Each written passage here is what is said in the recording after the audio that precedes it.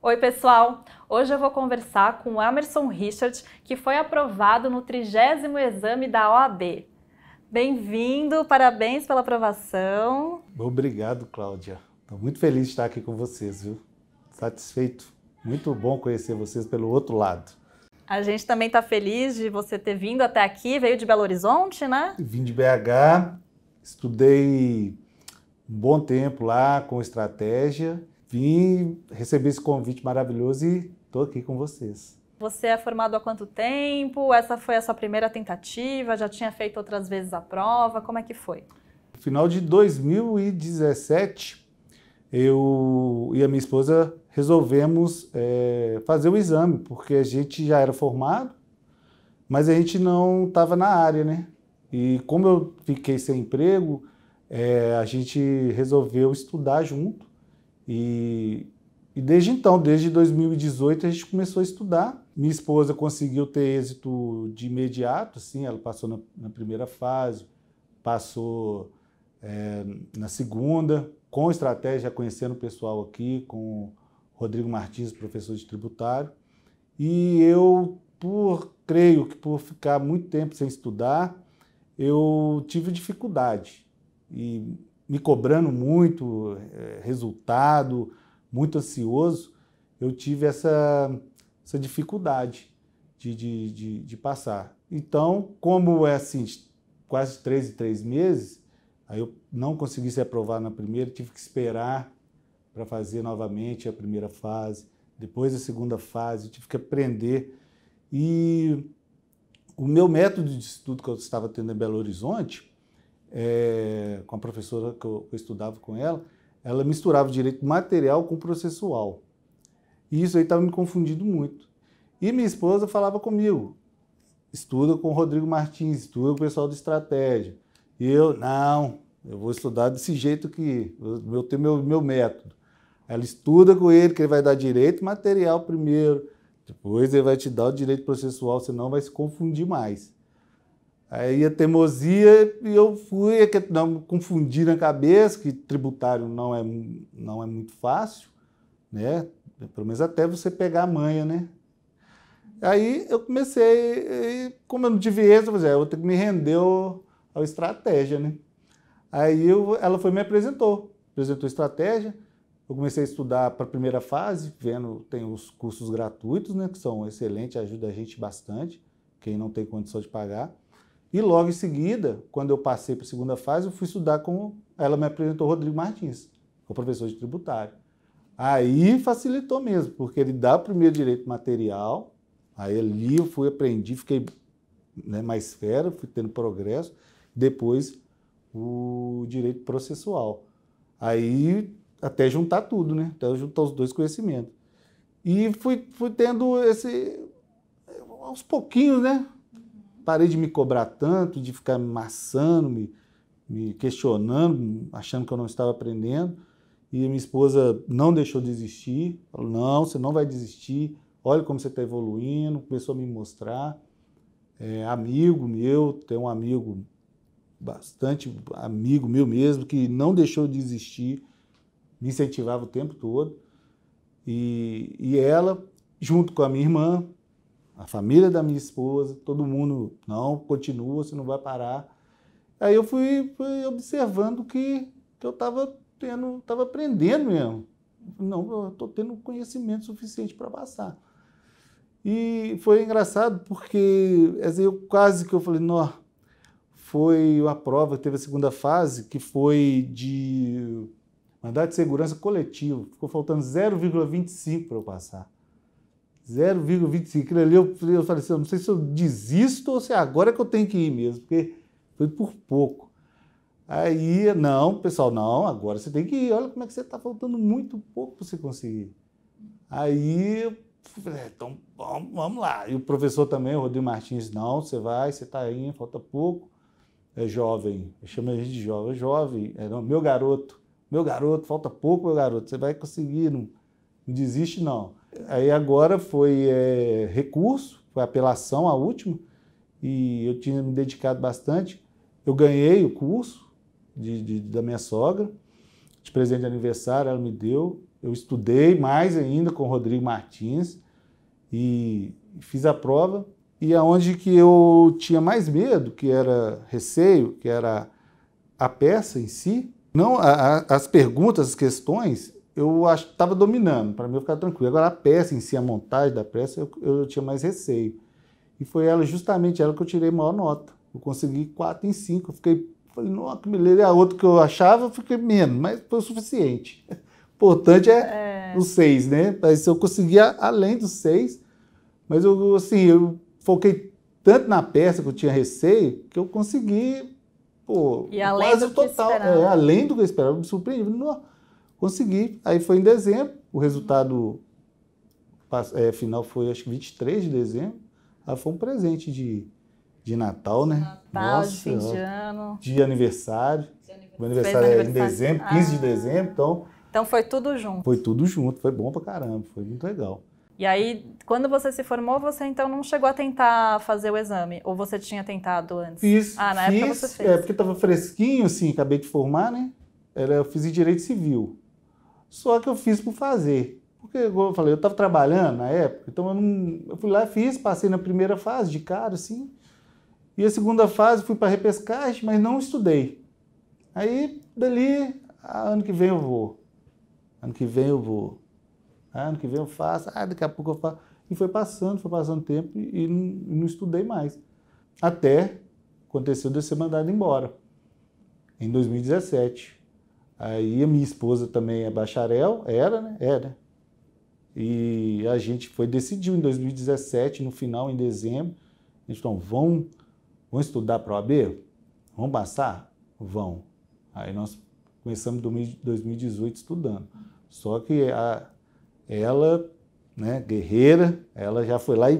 Pum, pum. E ela já começou estudando pelo estratégia. Começou estudando, é. É ela que é a cabeça, a, minha, a guia lá em casa, né? Então ela já começou com estratégia. E aí foi aprovada de primeira. É, e estudando, para você ver como é que é tão importante aqui o, o curso, no, no, porque eu estou na presença de vocês não, porque ela estudou tudo gratuitamente. Ela estudou a primeira fase aqui, mas gratuita, acompanhando as aulas, a segunda fase também com o Rodrigo. Aí, por isso que é ela que me apresentou o Rodrigo. Eu vi ela lá fazendo, estudando com ele, mas nem imaginava. Eu continuei estudando também para a primeira. Uhum. E ela fazendo a segunda fase, eu fazendo a primeira. Aí ela já pegou e já, já foi logo com o Rodrigo, ela já passou. Eu falei assim, deixa eu te apresentar o Rodrigo, deixa eu apresentar a estratégia. Não, eu, Estava sendo resistente. Tenho meu método de estudo aqui. Mas na hora que eu vi você, é, tá dando certo não. Quem que é estratégia? Quem é Rodrigo? Então foi a sua esposa que te apresentou a estratégia OAB e aí essa aprovação que você teve agora foi qual tentativa você lembra? Quantas vezes você já tinha tentado? Nossa não? senhora. Ah, só para você ter ideia, foi desde 2018 início. Eu passei 2018 tô tentando, eu passava para a segunda fase. É, fiz repescagem, mas não conseguia. Aí voltava, é por isso que eu falo, é importante não desistir. Como é que você se organizava dessa vez que deu certo, né, que você conseguiu evoluir nos estudos? Como é que você se organizava em relação aos dias da semana, a carga horária? Porque você não estava trabalhando, você isso. se dedicou integralmente a estudar sim, nessa época. É, eu estava, como eu estava com o pensamento de desistir, de, de eu estava querendo arrumar um serviço. Começar a olhar com um aqui, outro ali, alguma coisa para fazer. É, minha esposa não deixou. Não, você vai, a gente tem condição, porque ela já está trabalhando na área. Ela já tem um ano, mais de um ano que ela já está advogando já. Mulher é. Aí ela foi e ela já está trabalhando na área. Ela falou assim: não, enquanto isso, nós não temos luxo, mas também não está faltando nada. Você vai continuar estudando, dedica a passar nessa prova. Aí o, o, o meu horário era o seguinte: era de manhã, três horas, na parte da tarde, três horas. Aí, por quê? Eu cuidava da casa, também tenho que ajudá-la de alguma forma, né? Certo. Então eu estava por conta de estudo, porém eu ajudava dentro de casa, eu que fazia as coisas da casa. Quando tinha é, aula, igual do Rodrigo, à noite, que era ao vivo, aí eu estudava à noite com ele também. Então era de manhã, de tarde, de noite, praticamente. Ainda mais quando ia aproximando da, ia aproximando da prova, duas semanas, três semanas antes, era de manhã, de tarde, de noite, sábado e domingo. Até de final de semana. É, aí ela que ela chegava do serviço e me dava aula, montava um quadro lá, uma lousa. Quem que te dava aula? Sua esposa. esposa também te ajudava, a, ajudava, né, a estudar. Ajudava, ela vinha e a gente relembrava as peças e tal. E foi, eu acho que o, o que acontece é que muitas vezes a gente coloca limitações na gente. A gente fala pra gente que a gente não tem condição de ser aquilo ali, de ser aprovado. Eu tinha muito isso. Ah, eu não tenho condição de ser um advogado. Ah, eu não tenho condições de passar na prova do OAB. Muitas vezes eu pensei isso. E ela sempre falou, para com isso, pensamento seu negativo vai te atrasar. Você já não está mais com aquela ansiedade te matando. E agora você está é, precisando acreditar em você. Aí eu comecei a acreditar, comecei a ver, ela foi me mostrou, ó, você tá, olha como que você evoluiu. Você não sabia nenhum cabeçalho da, da, da peça. Olha, você faz tudo, você faz os fatos, você faz. Você já está desenvolvendo toda, toda a peça, já sabe onde estão os artigos. Eu fui, pô, é mesmo. Aí com o tempo fui vendo, fui. Aí minha energia, meu ânimo foi mudando. Então acho que me atrasou muito foi isso. Eu cobrar e não acreditar em mim. Depende pensamento negativo, negativo, e não, não ter essa confiança, né? Com certeza a parte emocional também influencia no desempenho da prova, né? É. No, até no, durante os, os estudos mesmo, Sim. a se concentrar. Não, e antes da prova, vamos supor, no sábado, de chorar, de falar assim, eu não sei escrever. Calma, você sabe sim, você estudou esses dias tudo. Vai lá e dá seu melhor. Meu amigo, cara, vai lá e faz o que você souber.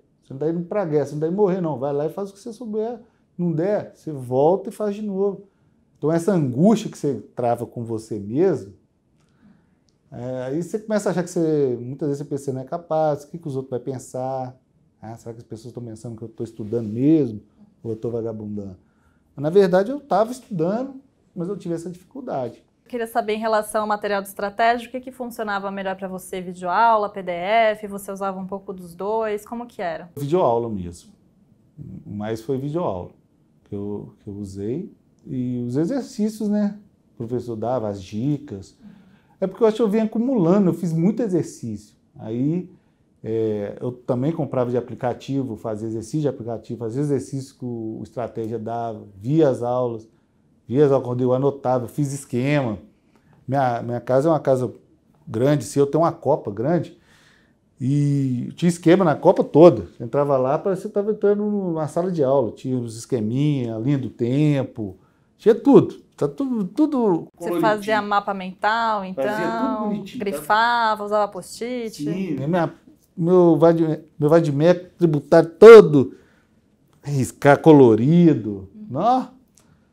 Aí eu estudei muito dessa, dessa forma, mas foi a videoaula mesmo quando eles dão os testes, né? Tipo, na semana da prova, dá um monte de, de aula, semana OAB.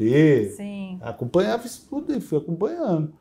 Acompanhando. Depois, segunda fase, à noite com o Rodrigo, estudava de dia, chegava à noite, estudava com o professor e fazia exercício no outro dia.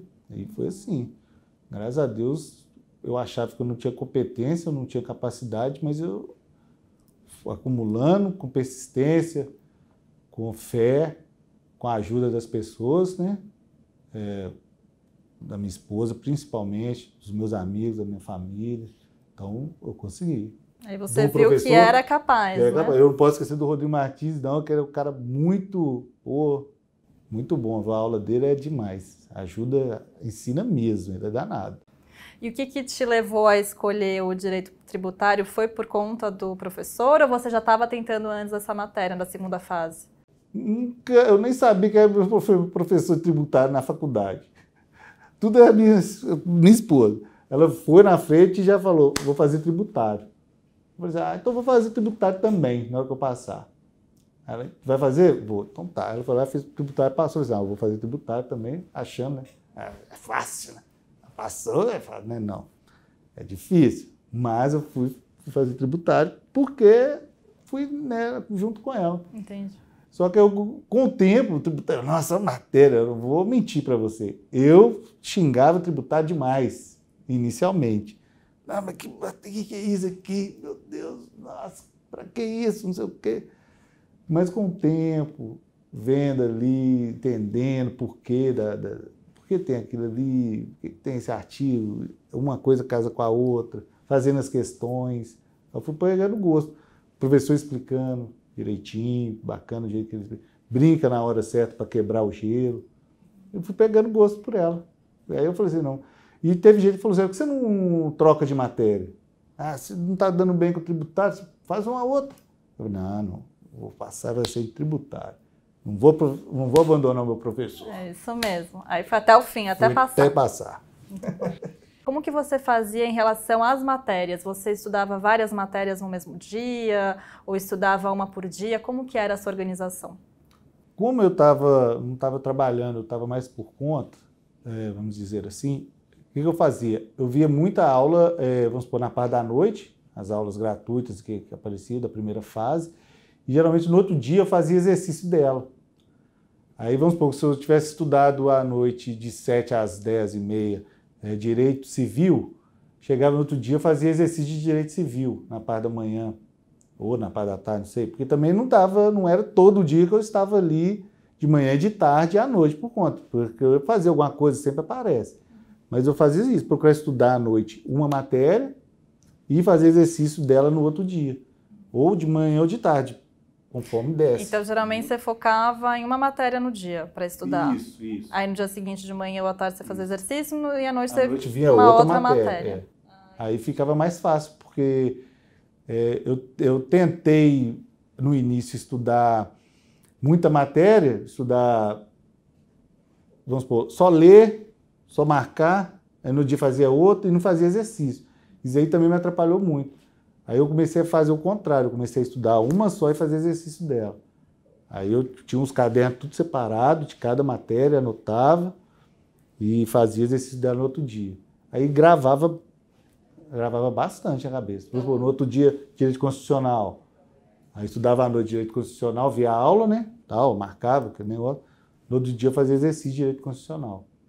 Aí fui fazendo assim. Então você sempre fez muito exercício, né? Sempre, Durante o estudo, é. tanto na primeira fase, segunda Sim. fase, sempre. E sempre muito exercício. Para poder fixar, né? Senão, se você só vê ali a matéria e copiar, anotar, anotar alguma coisa, não é bom quando vai fazer o exercício. E é bom também, a verdade, é quando você erra o exercício e quando você corrige o exercício. Porque aí você errei, não, eu errei aqui. Você vai em cima, olha só que bobeira que eu dei. Ah, então é isso aqui, ah, esse artigo. Aí você vai não esquece aquilo ali mais. Fica, tá, pega na cabeça e fica aquilo ali. Você fica doido até para ter um outro exercício igual mais para frente, para você poder fazer Para acertar. para acertar. Exatamente. Entendi. Certo. E revisão, como que era? Você costumava fazer revisão do que você já estava estudando para não esquecer? Ou você deixava para revisar mais para o final do, dos estudos, reta final? Igual na primeira fase, o que acontece? Eu não, não via todas as matérias, então eu escolhi umas 5, 6. Então eu fazia o quê? Via aula, voltava a fazer exercício. Via aula de outra matéria, fazia exercício.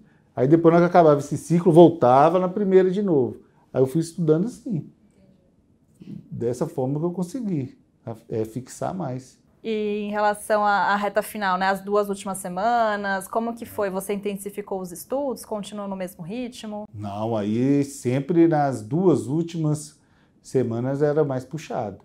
Que aí via aula de manhã, de tarde, de noite, fazia exercício. Se fosse a primeira fase, aí era é, ver a aula, assistir a aula, fazer exercício. E aí vinha sábado, domingo. Porque, lógico, chegar, se você ficar só por conta de estudar, você também uma hora você vai bugar. Então, fora dessa época das duas semanas, chegava fim de semana eu relaxava. Eu ia tomar uma cervejinha com a minha esposa, bater um papo, acender o fogão a lenha para fazer uma comidinha, essas coisas. Para relaxar, para chegar segunda e pegar firme de novo. Mas aí nas duas últimas semanas, não. Aí era sábado, domingo e não tinha cervejinha nem nada, não. Já encostava ali aí era só sábado e domingo, segunda, terça, quarta, fazer exercício, fazendo exercício, vendo aula. Lógico que chegava sábado, domingo, eu não ficava o dia inteiro. Geralmente na parte da manhã eu estudava, na parte da tarde né, ficava mais tranquilo.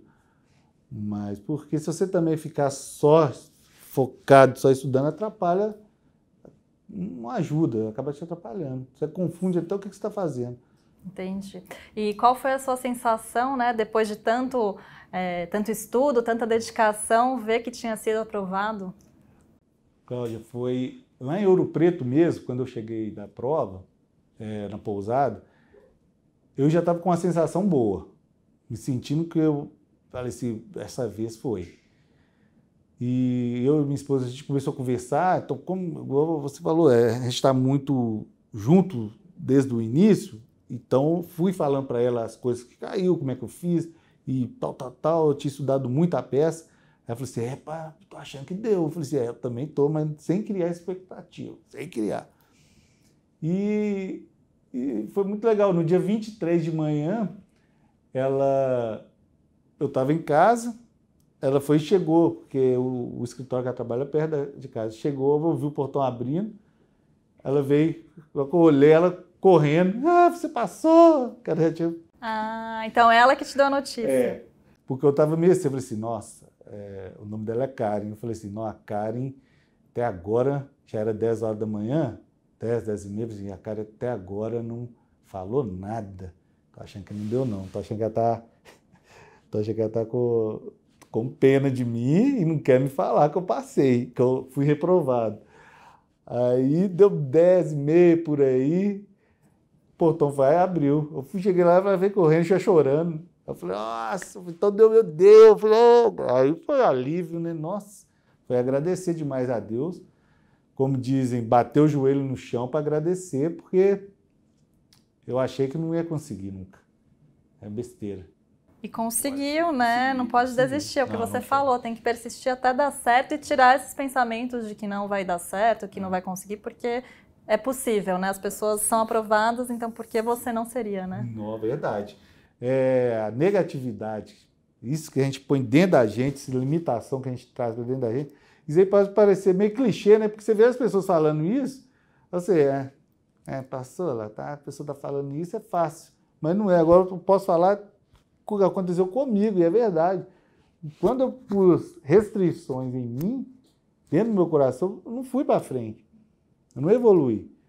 Com persistências, ia começar a acreditar, ter mais fé, pedir a Deus, ter paciência para estar tá estudando, porque dói o corpo.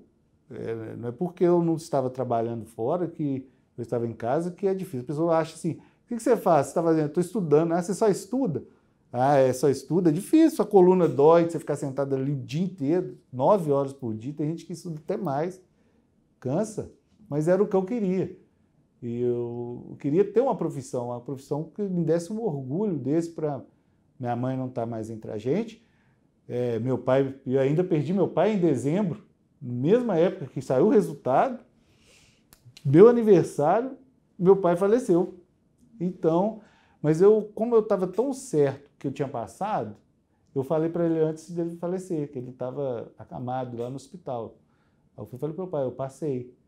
Aí não saiu o resultado oficial, mas eu passei, ele foi, pegou na minha mão, fez assim, graças a Deus, porque ele estava achando, tinha gente falando com ele que eu não estava estudando.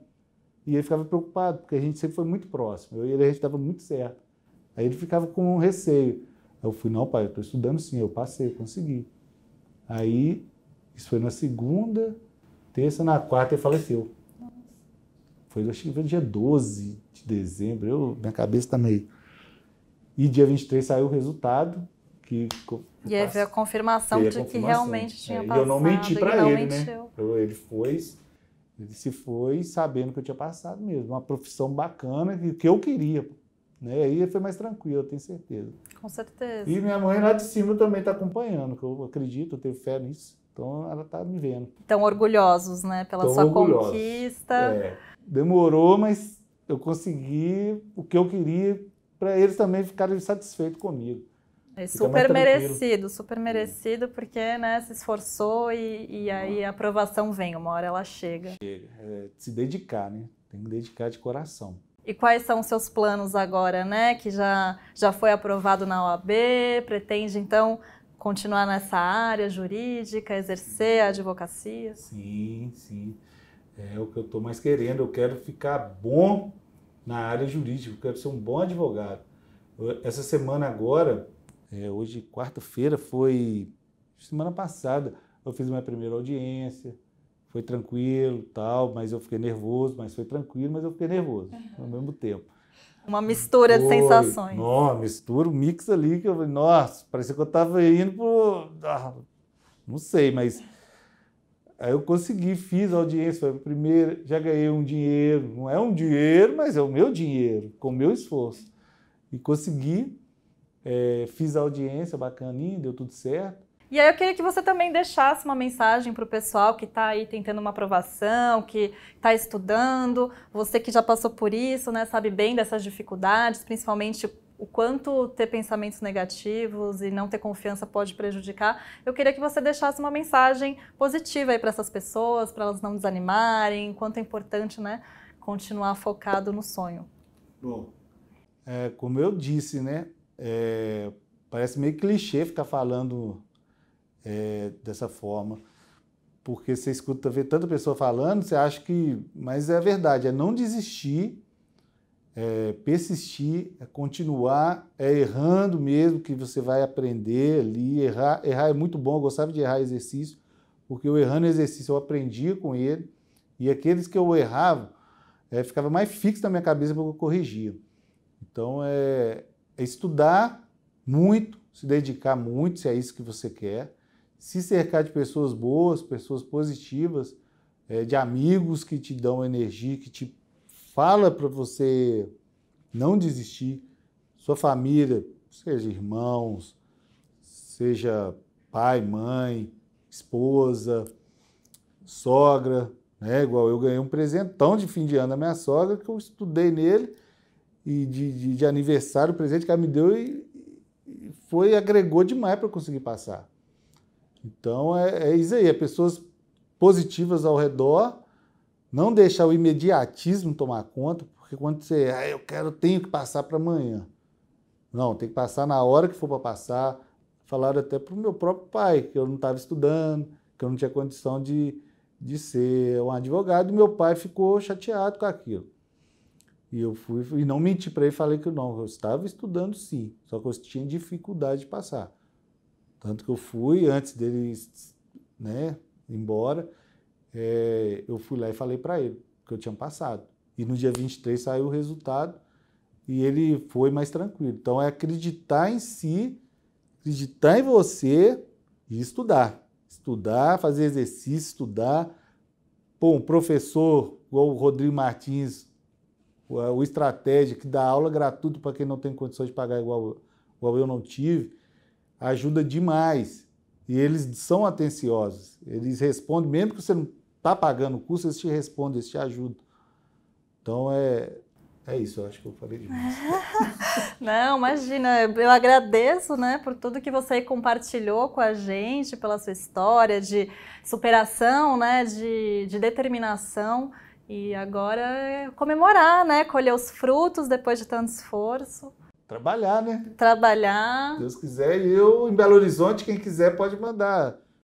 É isso aí. Muito obrigada mais uma vez por ter vindo de Belo Horizonte até aqui dessa entrevista, compartilhar a sua história com a gente, ajudar a motivar outras pessoas, né, a se inspirarem aí em você também. Ah, eu que agradeço. Muito obrigado. Estou adorando e prazer, satisfação enorme estar com vocês aqui. Obrigada. E é isso, pessoal. A gente vai ficando por aqui. Até uma próxima entrevista. Tchau!